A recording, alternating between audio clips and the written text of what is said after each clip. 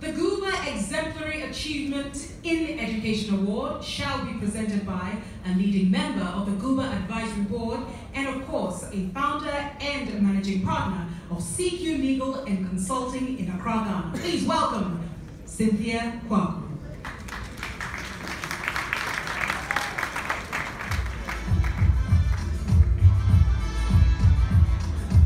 His Excellency, distinguished ladies and gentlemen, the Guba Exemplary Achievement in Education Award recognizes individuals who exemplify the ideal of service to Ghana and Africa for outstanding world-class contribution to education.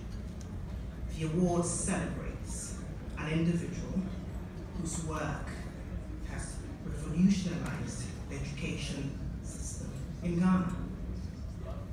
The winner of the Guba Exemplary Achievement in Education Award is Patrick Awuah.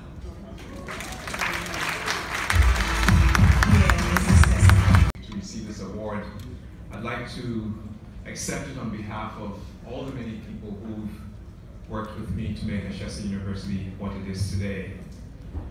We work with the very firm belief that the most important natural resource in Africa is our human capital.